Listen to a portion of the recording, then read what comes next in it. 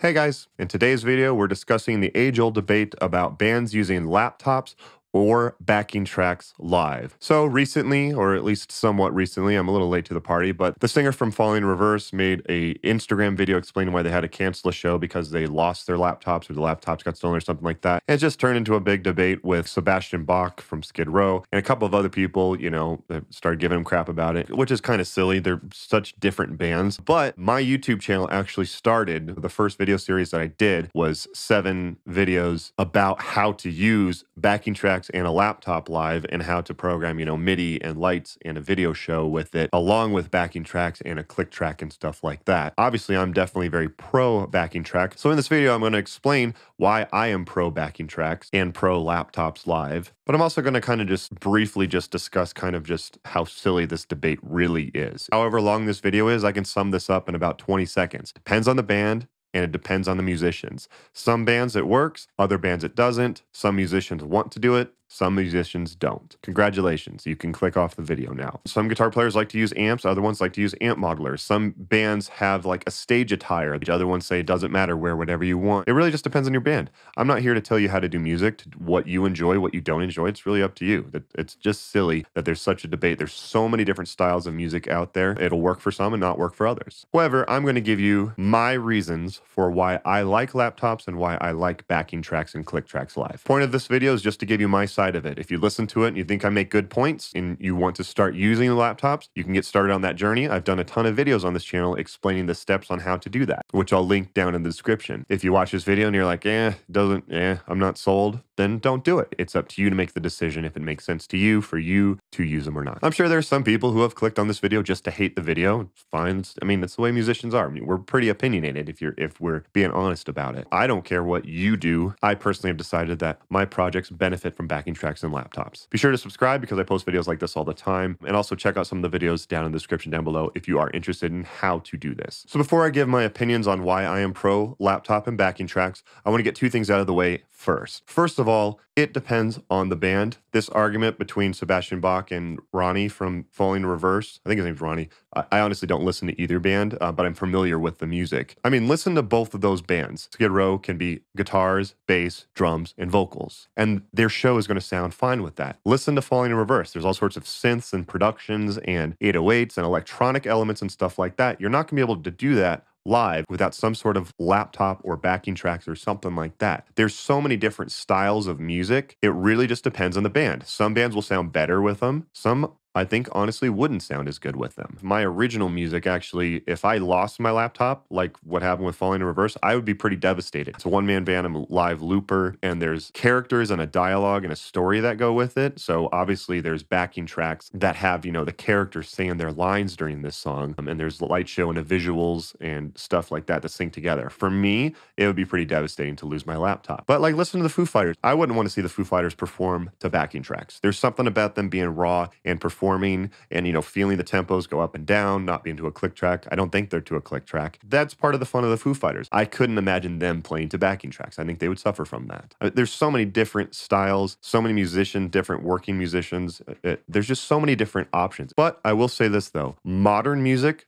does seem to rely more on tracks and production and elements and stuff like that. This does not matter what your opinion is. If you only like classic rock, you don't you hate all the new stuff, that's fine. I, I'm not here to convince you otherwise. But you have to admit that the style has changed and there's a lot of production that comes with modern rock. There's three bands I can think of: Fall Out Boy, In This Moment, or Papa Roach. Those are kind of just bands I kind of just thought of while putting this video together. Listen to their older stuff. It is very much just guitar, bass, drums, and vocals. Maybe a couple electronic elements. And they were around, you know, in the early 2000s, late 90s. Listen to them now. There's all sorts of production going on in their in their music. There's a ton of different productions. That's kind of the, the way that the style has changed. Again, your opinion of that doesn't matter. You're going to need some sort of backing track or something in order to get those sounds. If you have an original band that sounds like Iron Maiden or something like that, yeah, you probably don't need a backing track live. It's just very narrow minded not to really realize that there's multiple styles of music out there. I mean, think of a wedding band versus the Foo Fighters performing live. Think of a band doing a tribute to Led Zeppelin versus a band doing a tribute to 21 Pilots. Think of an original band that's something that's a little more electronic oriented versus something that sounds, you know, like original band that sounds more classic rock sounding. Band performing in an orchestra versus like a cruise ship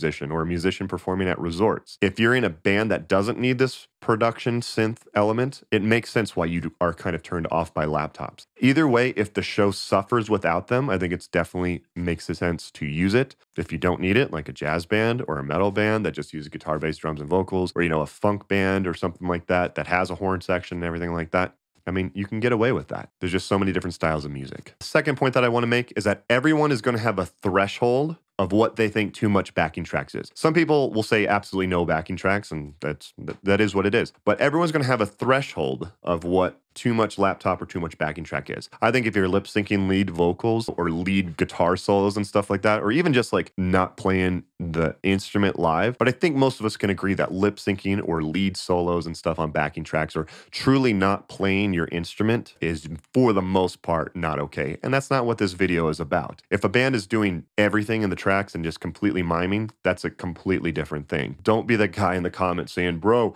lip syncing and, you know, not playing your instrument live is is it's like that's not at all what I'm talking about. I'm talking about using backing tracks to enhance the show. Everyone's still playing their instruments, but you know, doing stuff to enhance the show, lights, synths, 808 drops, stuff like that. I wanted to get those two things out of the way. Now let me give you my pros for why I like using laptops and backing tracks live. Okay, point number one is playing to a backing track, more specifically a click track, because you do have to play to a click track in order to play live with backing tracks. One of the pros is that it makes you sound tighter as a band. I watched video footage of like my old band before we started using a click track, and you could tell, you know, we're, we're fluctuating, you know, when it where it drops like just a guitar and we all come back in. It's not as tight as when we started playing to a click track. I like having a click in my ear so it doesn't have to be a drummer counting us in and then holding the tempo on a hi-hat. That kind of ruins the dynamic dynamics for me. So I like having a click track so I can start a song on guitar if that's how it, the song needs to be. I have another friend, I've played with him and uh, he joined another band and they don't use a click and I asked how that's going. He's like, he's like, it's kind of, you know, it's kind of nice. He's like, I kind of wish that we did because we'll argue about tempos,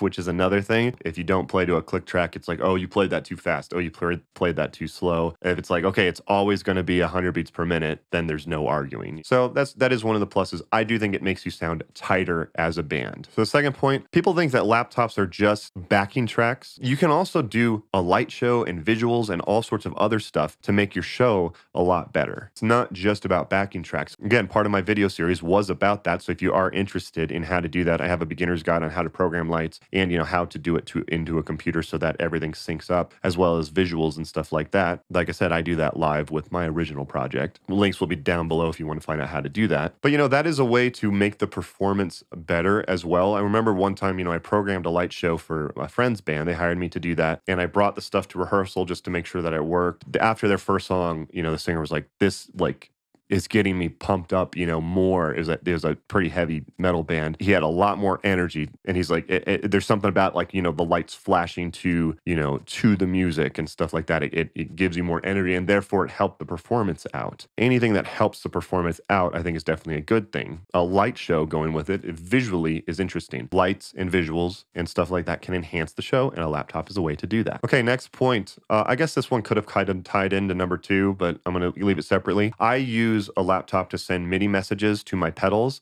to change my patches for me. I know this is very common for other musicians as well, especially like falling in reverse and stuff like that. I'm sure they do this too. I don't have to pedal dance anymore. When it needs to go to the chorus, my computer sends a MIDI message to my pedal to go to the chorus. When it needs to go to the solo, it turns on a boost and reverb and delay or whatever. I don't have to pedal dance anymore. That helps the performance because then I can go to the front of the stage and, you know, play guitar and I don't have to run over to my pedal board, hit my boost, and then run back. I mean, now I use something called a GTRS, which has a super knob button. All the effects are built into the guitar, so I can actually change patches on my guitar. I did a video on it if you want to check it out. That's that's an awesome guitar. So when I do play in a band that doesn't use MIDI, I have that option, but my original stuff it does it changes per every song has a different patch and stuff like that and I can change it. I don't have to pedal dance anymore and that helps with the performance. If you are interested in how to do that, I have a bunch of videos on how to do that. So check the link down below and then you can focus on the performance. And again, if it enhances the performance, I'm pro laptop, and backing tracks. And I'm just, it's just obvious. It makes you sound more full. It does. I know in my band, you know, we, we used to, we said we wouldn't use backing tracks for a long time. It just didn't feel like it would be right for the band. It really didn't. And recently it started to. It, it made things sound a little bit more fuller. And you could see the crowd reacted to that too. Not that we ever really had like a bad reaction, but people just responded a little bit more when it was a bigger type sound. And people did seem to respond to that. So it really does give you that fuller sound. Depending on the band, again, but it is definitely a plus to sound a little bit bigger. Okay, another reason reason, this will be a little controversial, I think, but um, budget.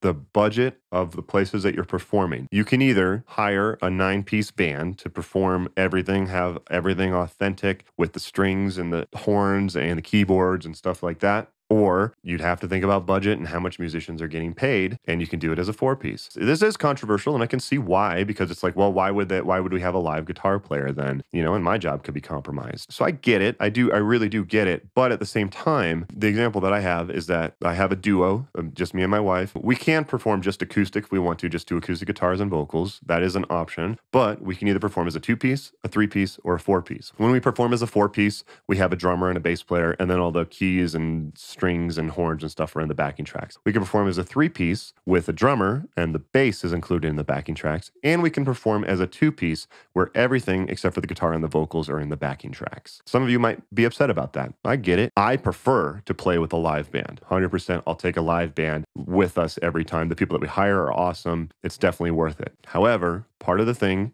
is budget. On Fridays and Saturdays, you, most places that we, you know, look at will hire a band. What about, you know, like patio gigs on a Sunday afternoon? Those are pretty popular. But, you know, most of the time when you play that, they have a small budget for it and Another thing is they have a smaller stage space as well. So they're like, hey, go play in that corner. We couldn't play with even with a four piece band in that kind of a setup. As a full time musician, I I do have to think about budget. I can't be doing $50 gigs. I, I just can't. If you're more of a weekend warrior, you have a main job and it's a hobby and you enjoy doing that, sure. You know, perform as a, as a six or seven piece band, you know, and everyone gets 50 bucks at the end of the night. There's nothing wrong with that. Again, I know that's going to be a little controversial, but I am being honest. It's up to you to decide if it is worth it. I'm very fortunate to be able to do this full time, but I do have to think about that as far as budget, as well as realize the fact that, hey, guitar can be replaced next. So it's up to you to make that decision. Another reason that I'm pro laptop backing tracks is with a click track, you don't just hear a click track, you can actually add cues into your ears. So, you know, the way that I have it is I have, you know, like all the small things,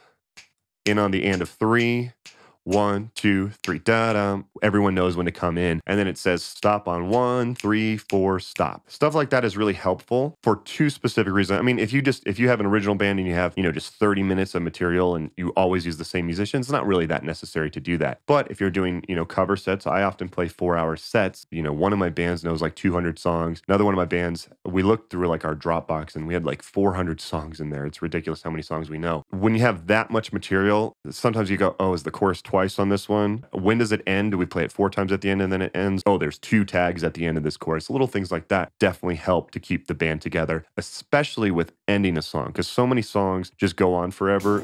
Finally, almost done with this song. End on the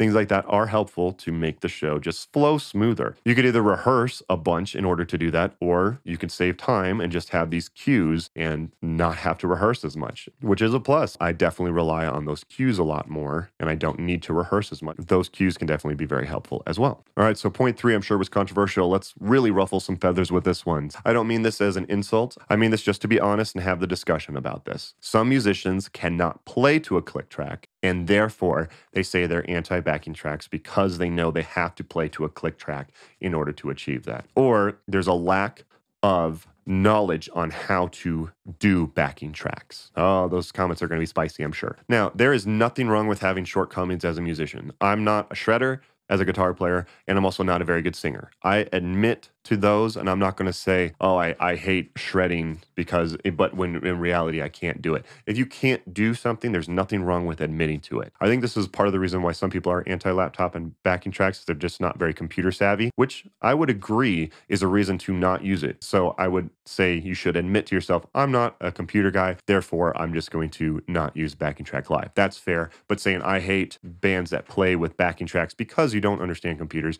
I think is uh, is is a little silly. So I don't even know if you can really count this as a point, maybe for why I like using backing tracks. Uh, it's more of like a counter argument to the anti laptop, anti backing track crowd. Some people can't play to a click track and therefore they don't like backing tracks, but they won't admit it to themselves. And most of the time, the argument is it, it ruins the feel, which again is true in certain cases if you're not just saying that as a crutch. I'm not saying that it ruins the feel isn't a, a legitimate case, but some people just can't play to a click, and that is their excuse. I don't know if anyone will actually ever admit that, but I, I, am being honest. I've seen it happen multiple times. I'm sure some people will be upset about it, but I'm just being honest. All right, point number six dealing with band members. You know, in all honesty, sometimes you're just, you have a group of musicians that you work really well with, and adding new musicians to that will take away from the dynamics of it. Sometimes you're in a band situation and it's a huge relief to lose a certain band member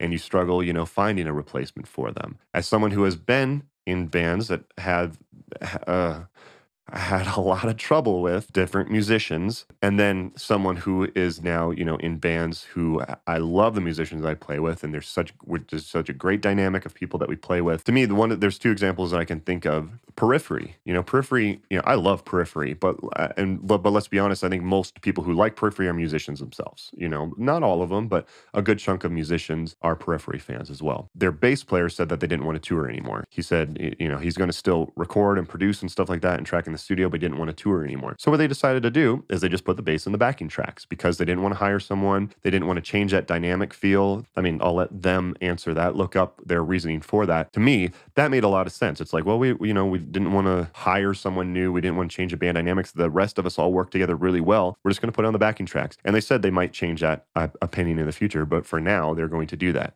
I think that's completely fair reason to use backing tracks and putting the bass in the backing tracks for that reason. Another story that I can think of is that I had a friend who just kept cycling through bass players. They had so many different bass players. They did one show where it's a ballad and like where the bass and the guitars basically just hold out, you know, long chords, whole note chords. The last bass player that this guy worked with, he played a half step off on each of those notes, literally a half step off.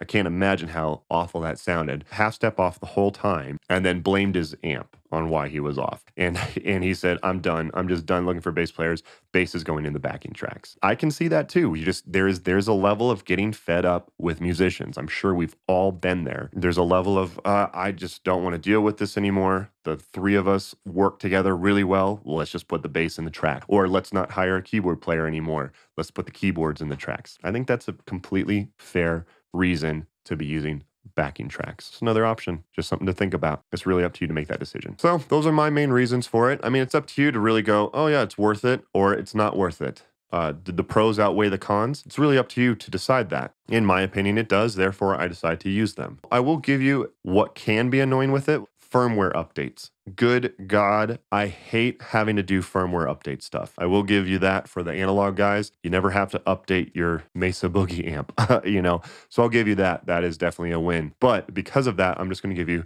some tips for if you use computers or laptops or backing tracks. Is that one, I with my laptop that I use for performing, once it is programmed, I don't update. I do not update unless if I have like two months until my next show. Because when you have to update, you know, from Ableton 9 to Ableton 10, that means you have to update the iOS, the operating system on your on your Mac. Then because of that, your synth plugins don't work anymore, and just anyone who's done that has a nightmare with that, uh, which again is probably the biggest negative about using tracks. Again, the pros outweigh the cons in my opinion, but yeah, firmware updates are the worst. So to me, I once it's ready and it's done, I don't update anything. I don't connect it to the internet. And if you do have to do a firmware update, it's not, you know, an hour before sound check. Do not do that. Second tip, always have a backup somewhere. That's why I'm surprised with the Falling Reverse thing that they had no backups anywhere, like not even like saved to a cloud that you could download. Always have a backup. Always have some sort of backup, even if it's just an iPad that has the backing tracks to it and you know the light show doesn't work or whatever, but you can still perform to the backing tracks with the click track. Always have a backup. I have two backups in every single band that I have that uses backing tracks or a laptop. Always have a backup. And the last thing I'm going to say is that treat it, treat your rig, your laptop in your in your monitor setup, anything like that, as another member of the band. You do have to know how to use it. If something goes wrong with it, you do have to know how to fix it. Always test out your gear multiple times. I know I'm more of a Logic guy, but I use Ableton Live, and I definitely had to go through and be like, okay, I need to understand how this works in case if something goes wrong. So definitely treat it like another band member and definitely get to know it. But of course, always have a backup. So that's basically it. I mean, those are my opinions on why I like using a laptop and backing tracks live. Feel free to leave a comment down below uh, on your reasons, if you're pro or against it, or if this video kind of helped you out and go, oh, uh, this made me want to use it, or made me go, nah, I don't really need to use it. Uh, let me know in the comments down below. Um, if you are going to be the guy, you know, who's just going to be